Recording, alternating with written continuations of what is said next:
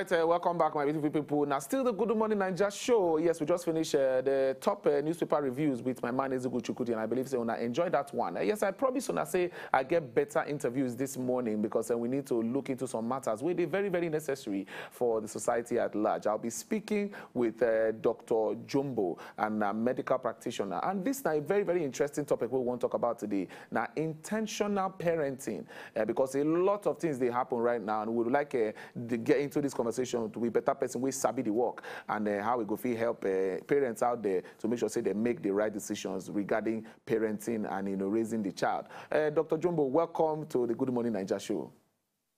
Thank you very much for having me. All the right. pleasure indeed. All right. Uh, so, uh, okay, now it is a tradition here on the show that we always ask our guests uh, how they are doing honestly because we know there's a pandemic. A lot of things have changed. This was an unexpected situation in the country. So, we'd like to find out, honestly, sir, how are you?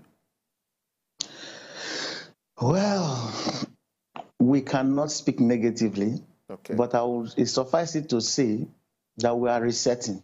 Hmm. The, the, the situation has been chaotic from the first quarter of this year, and everyone, including me, has been in the reset mode Hmm. to, to adapt to the new normal.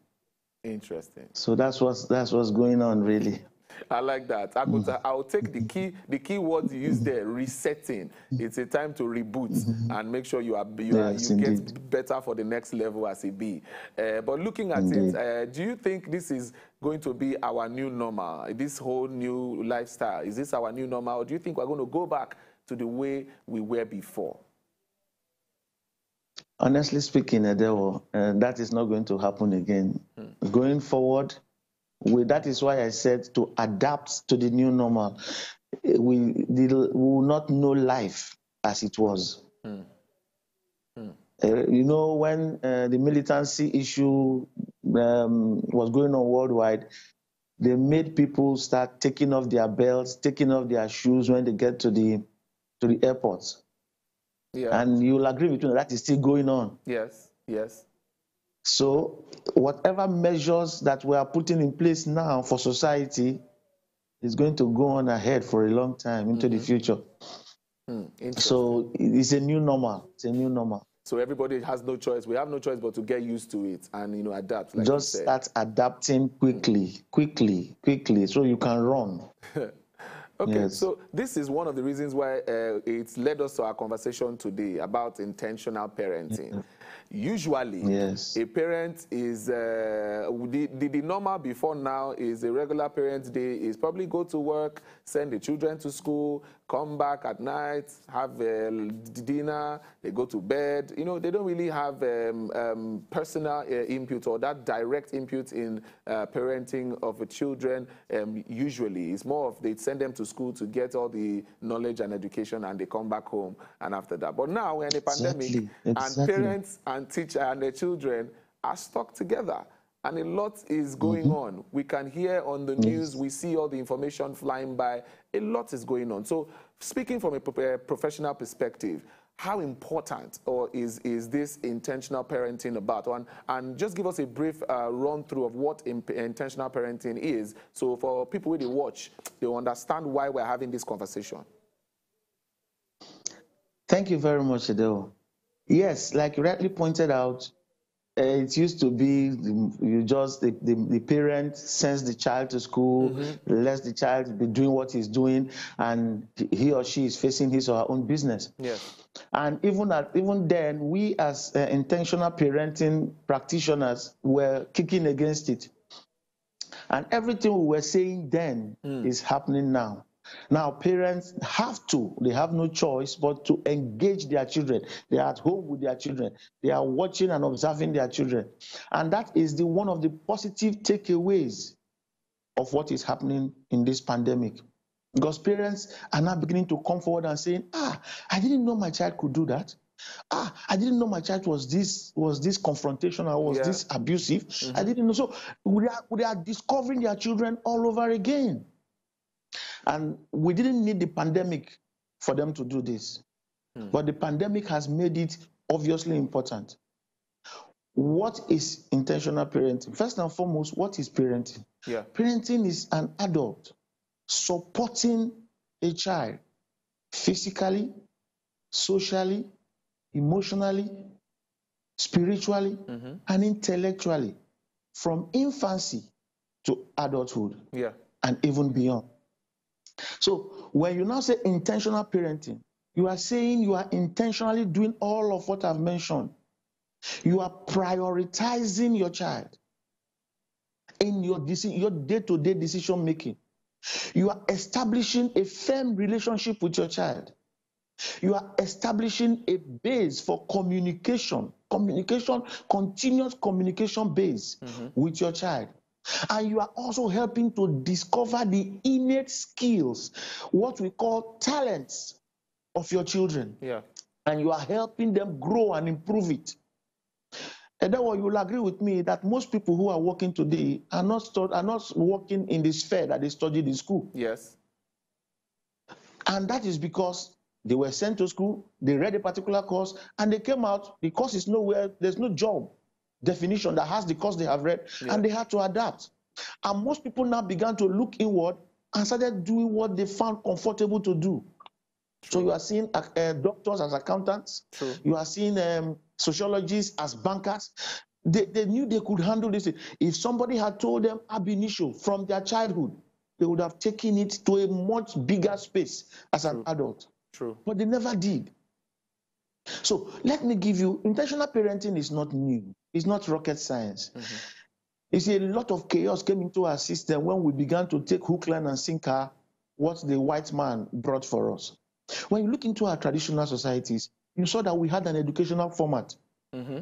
Farmers had children who they trained to be farmers. The good book says, train up a child in the way he should go. Yeah.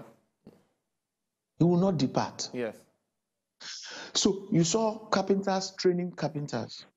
You saw traditional birth attendants mm-hmm. training traditional birth attendants. Mm-hmm. So children were growing up skilled in mostly what their parents knew to do. Yes. You look at a child and you say, oh, this child is skillful. This child has sense. This child can remember. You take the child to go and become a herbal doctor. Herbal medicine is that is what we have now as medical doctor. That is what you can call me a medical doctor. I studied the orthodox medicine. Yeah. We had a system that studied traditional medicine. And we were able to take our children, eh, take, put him under this man. He will teach you, and the child will grow up and we know herbs and we know. And that's what we were doing before now. Yeah. But when the new system came, we jettisoned all of that and we wanted whole and sinker what they brought. And we are seeing the chaos is causing in society today. Hmm. There are no jobs, nothing. People who could have been wonderful farmers, mechanized farming, people who could tell that their parents, their father was a king farmer, he could bring out 10 lorries of yam from his farm. And I'm not joking, it's possible. Some people are doing it. Yes. Their children will go off to school and go and say they are reading one thing, one thing. And they come out, they can't go back to do what their father did because they, they feel they have outgrown it, they've Yeah. not learned it. They can't do what they said they have gone to school to do, and they are trapped. And that is mainly causing the decadence we are seeing in our society. For us, I firmly believe Yeah. that for us to go back to basics and get our society back on track, it has to start in the basic unit of society, and that is the family. Yeah, So, so, Parents have to. So yes. yeah. So, so speak, speaking about uh, the parents who would say they are trying their best, but they are not. Uh, the children are not forthcoming. They can't reach out to the children, even if they want to be involved. The children are not letting them be involved. Now, I'm speaking about uh, children from probably um, the teenage age that are getting closer to yes. adulthood. Yet they say, uh, "I try my best." I can't still uh, get across to the child. What would you advise a parent in that situation to do? Speaking in uh, intentional parenting situations. Yes, intentional parenting is all about avoiding what you just said. When you now begin to engage your child as a teenager, you have lost time and you have made mistake, a lot of mistakes. The child is now teenage years is very interesting. Is that transformational period from infancy or childhood to adulthood? adulthood, yes. That is when the child is becoming more confident. The child is learning confidence. The child is becoming private, learning to do his thing. And having formed that mentality, you are now breaking into say, This is the time I want to start telling you what to do. The child will push you away. Hmm. So you are supposed to have started started it earlier. And that is what intentional parenting talks about. You prioritize your child. You establish a relationship with your child at in, infancy. You have a communication method with your child.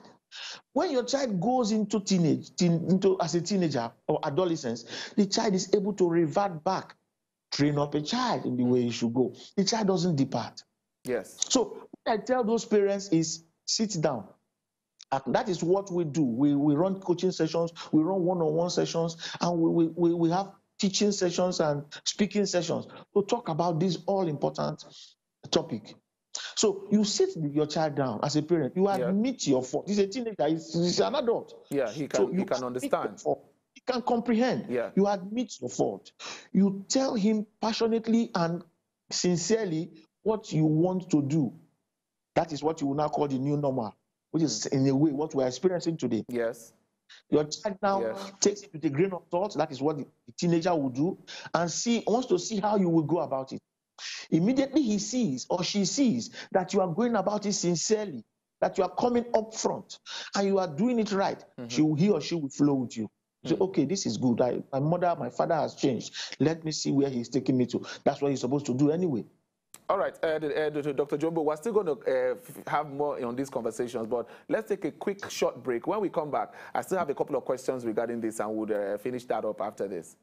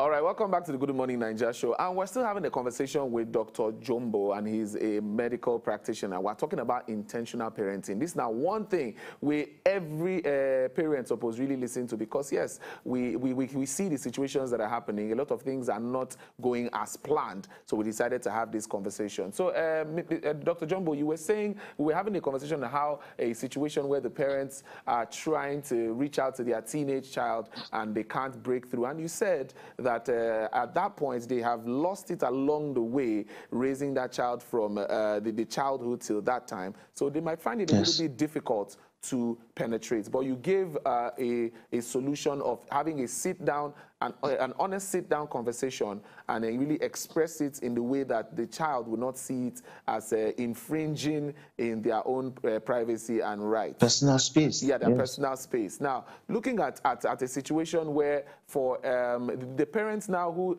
doesn't even have that much of access to his child or her child, uh, probably they are staying in different places states, different states away.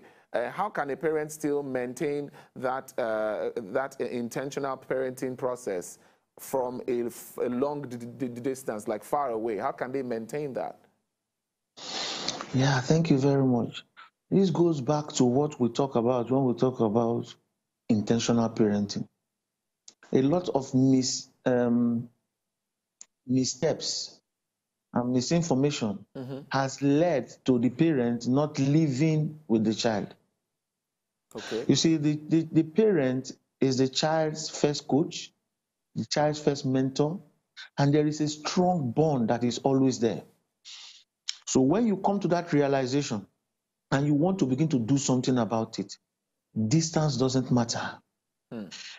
You have to create that access. You have to find a way. Right now, thank God for technology.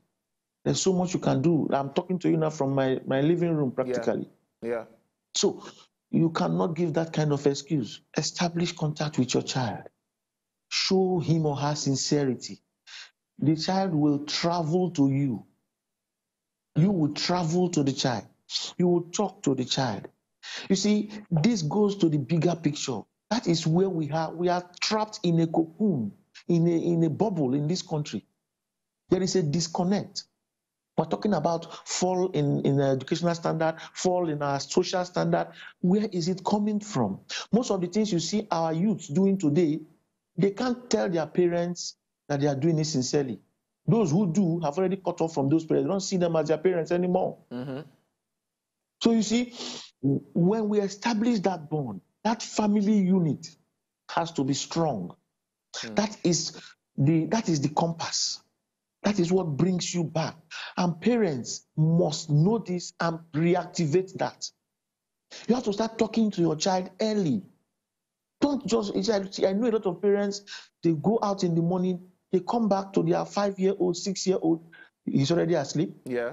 He's already asleep. By the time they are leaving early morning, the child has not woken up. Mm-hmm.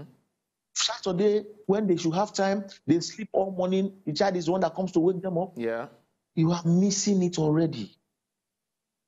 After a while, that child will not tell you anything, will just switch off. And then you will not come back later, 10 years later, when he's now 15, and you are saying that I want to become your father. No, hmm. it won't work. So it has to start from the beginning. The society has to, that is why we are shouting it out loud. We want to do anything in our nation to make our nation better, it has to start from the family unit. And I'm preaching it and I'm teaching it and I'm living it. I have three lovely daughters. My first daughter is a 13 year old who has a cooking channel. Yes. On on uh, on YouTube. On YouTube. Cooking yeah. with Jessie. Cooking with Jesse on YouTube. Mm-hmm. She has um, her uh, Instagram handle is uh, Cooking with Jesse One. She's doing all things cooking now at 13. She just turned 13. Hmm. And that is that takes you back to what we're talking about discovering the innate abilities. You can't discover those abilities in absentia. You have to be around. You have to make time and discover these things and encourage your daughter. My second daughter, I get into the car with her and we're driving somewhere and she cracks up my ribs all through. Mm. She's just making me laugh. Yeah. I noticed that. She's a good singer.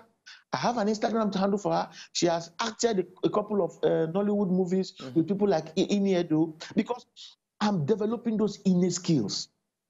They can do anything. Your children should grow up with that confidence and they can do anything. And that is what I teach parents. Say, come, what can your child do? You cannot abandon your child to the teachers. The edu- our formal educational system does not often make room for such kind of discoveries. They just yes. load the children with all sorts of books, book work, and the children come back, and oftentimes they are more confused hmm. because they come back. You're not even at home to guide them to in those guide them through. Yes. Yes. So you, we have to. It's, it's a new normal. Hmm. We so, have to, as this has really brought it forward. This pandemic has brought it up, and parents are agreeing with you now. When I say such, they say yes, yes, because they are not at home and they are seeing these things that they didn't see.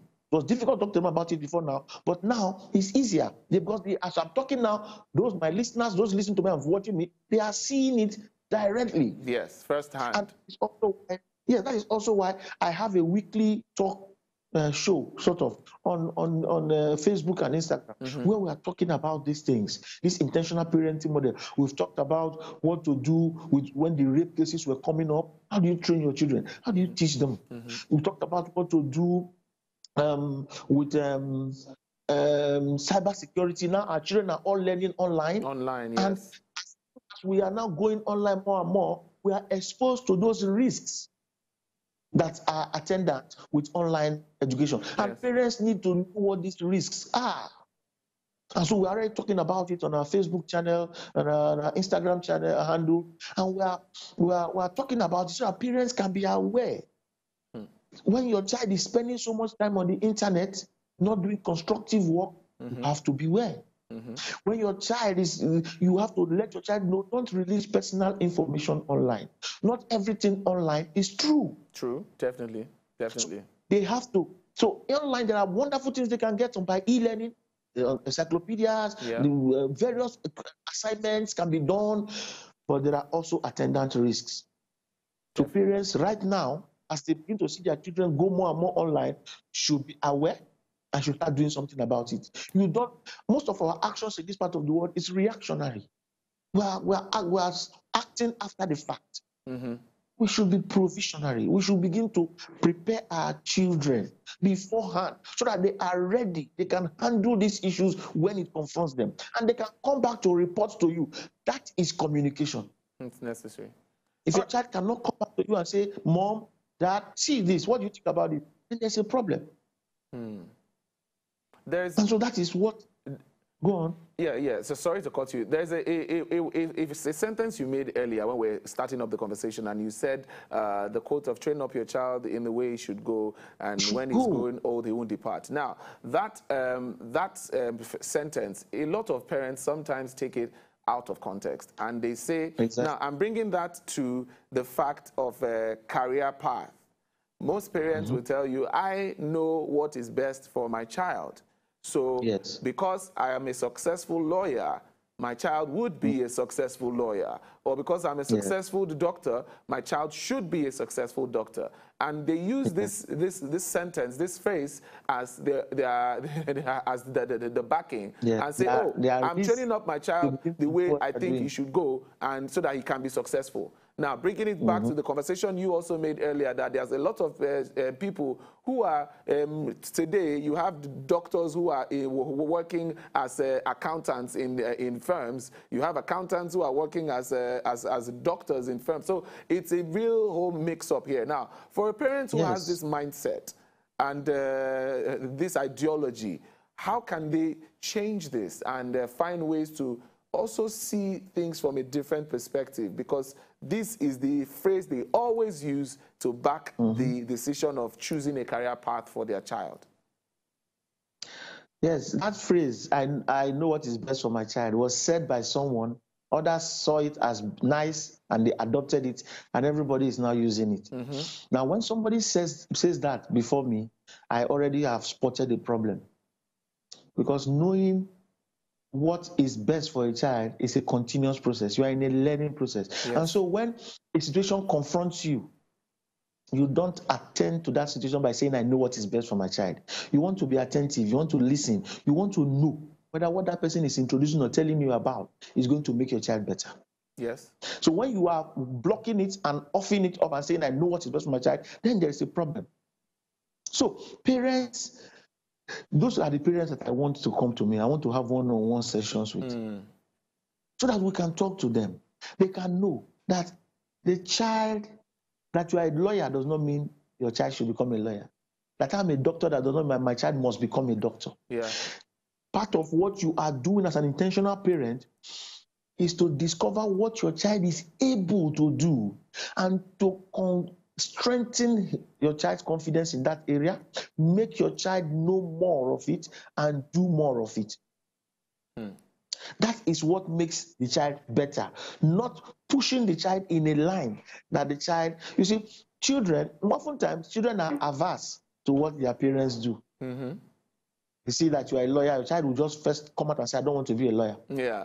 And why is the child saying that? When you sit with that child, the child is saying because the child is seeing the negative things the father does as yeah. a lawyer. Yes. And doesn't want to do those things.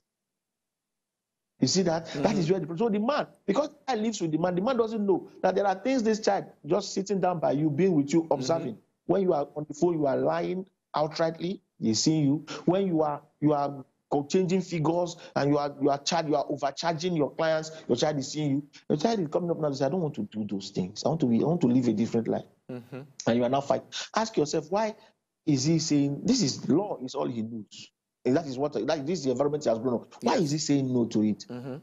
So those things could be one. Another one could be that the child, by him or herself, has discovered innately something he or she is very good at. So you as a parent should have been the one discovering it and encouraging that child. Children have multiple talents. As you begin to encourage them to develop these talents, they can use these talents at various stages in their lives. their lives, yes. I learned how to talk early because I was very observant. Mm. Today, I am talking to you confidently. Mm-hmm. I did not learn it now. So, as people go through various phases of their lives, they mm-hmm. use various things they have learned earlier. Mm-hmm. It is you, the intentional parent, who help your children see, give the child a panoramic view of all of his or her abilities Yeah. so that they can begin to use it going forward. Hmm. That is what intentional parenting is about. It's it's it's quite So oftentimes, I had a friend when I when I was in school, in medical school, I had a friend. He studied medicine, Yeah. and after studying medicine, he took his certificate, laminated it, and put it in his father's living room, and said, "Dad, that is what you want." I've, I've he it went for you. at that time. Yes, at that time, he now went and wrote Microsoft exams, and Microsoft employed him and took him to Germany. Wow. That's what he wanted to do. But he had the capacity to, okay, that that's what you want. I'll give you your own. I'll take my. Not every child could do that. Yes. Not every So child. it breaks. You find that it breaks them down. They want the one they can't get. They want their father or their mother wants they can't get, and they end up trapped in a place of inability. Hmm. You know, and this picture is what we are wanting to change. as soc- our society has been segmented.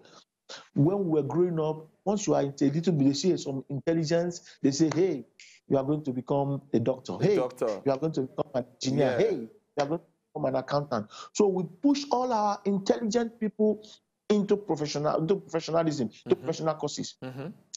And we took the lesser ones into teaching and others. Mhm. And then the very, very low ones are the ones who have taken over our politics. Now, you agree with that 75% of those who are ruling us today had adult education. They went to school because ah, I want to be so I want to be a local government chairman. Oh, this is what is needed. I have to go and register in Unilag, Hmm. and I'll start doing our. That is what most of them did. Yes. So we did not encourage that rigor from childhood. When your child tells you I want to be a politician, you say, shut up there. Come on, go and read accounting. Yeah. But that child, that child has done politics with scruples from childhood. You have encouraged him. He comes up today, stands in the face of adversity, and leads. We have politicians, but we don't have leaders. Yes. How do we change it? We have to change it from what we begin to do with our children. Let the next generation come forward, form a critical mass, and change the, the, the, the status quo. And it comes with you teaching your children, encouraging them. One, that is train up a child in the way you should go. When a child has learned school, it's difficult for the child to become unscrupulous Yeah. later. All right. But even when a scrupulous person goes into the Senate and sees that 90% of those in Senate are all doing, he joins them very easily. Uh, it's all, all about us doing it. Mm-hmm. But when he finds that he can find a group of people that are like him, Yeah. to, they can begin to make changes. Yeah. So everybody, our Senate, for instance, today has become a, a retirement home. And so what do you expect? The same people doing the same things. How do we change it? Hmm. going back to your children. Even the politicians are not training their children to be leaders. Their children are all those of them that want to be like them are learning to become thieves, to become whatever negative device, device you want to, negative vice you want to talk about.